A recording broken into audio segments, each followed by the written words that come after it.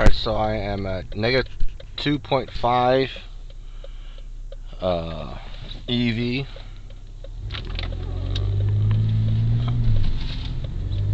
And it's helping a little bit, but like that un those, that oncoming traffic.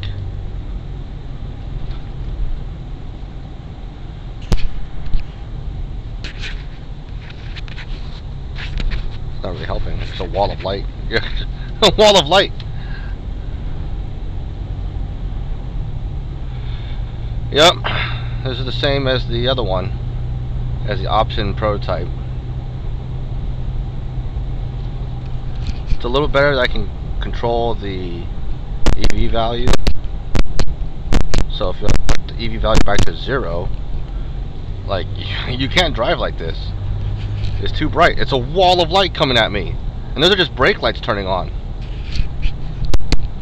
But I have to like cycle through back to negative 2.5.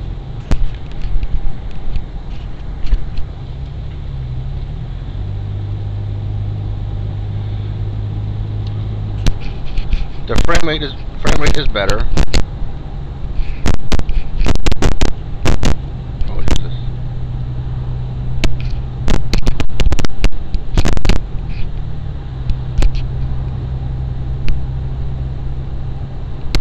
That's 30 frames a second. That's 60. And then back to 90. 90 is smoother. There's still a little bit of like, I don't know if I really call it rolling shutter, but it's definitely uh, some lag. Like as I turn my head, the image kind of like slowly catches up. And the lens just can't really like focus really sharp.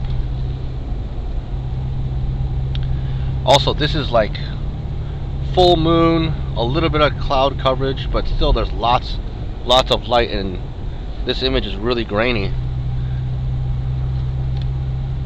Like, ugh, look at that. Drive lights out.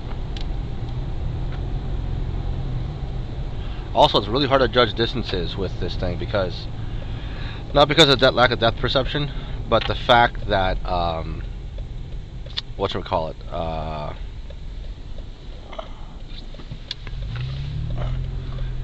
it's just the lights. It's really hard to see the, what's in the lights. Let me stop. Look at that. That's I can't see. That's a, a, solid wall of light. Meanwhile, I can see there's at least three cars with my unaided eye. Can't read that sign. It's too bright. Yeah, see? No high dynamic value or high dynamic range. Can't read that sign. Can't read signs.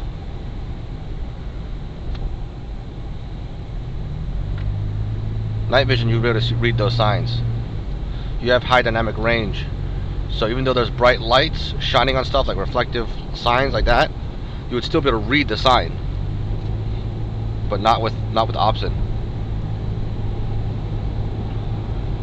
And yes, it's a monocular, you can use your unaided eye to read, but we're not talking about benefits of having binocular versus a binocular vision system. I'm talking about just the OPSIN and its inability to have high dynamic range. And it's not a uh, uh, problem with the OPSIN, it's just digital CCD sensors in general. You cannot have high dynamic range, it doesn't exist unless you do a lot of post-processing, have multiple images, all taken at different values, and then kind of blur them together. Can't read that sign?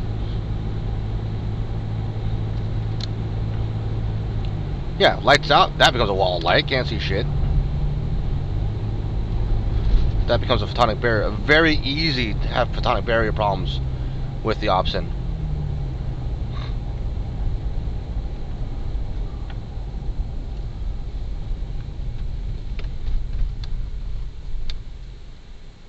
Alright, we're at my testing site.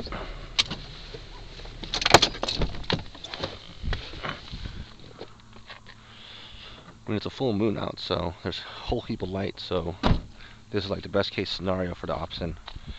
Um, I was here last night with the SiOnyx Aurora, and I don't see a difference. Oh, moonbow. That's cool. There is a moonbow right there. Moonbow. uh, yeah, not entirely impressed with this thing. We'll have to see what it does in really dark lighting conditions, but I'll be honest, I'm not going to be using an Aurora Pro in really dark environments. I wouldn't use this either. I would just use night vision, especially for the price. I'll use analog night vision.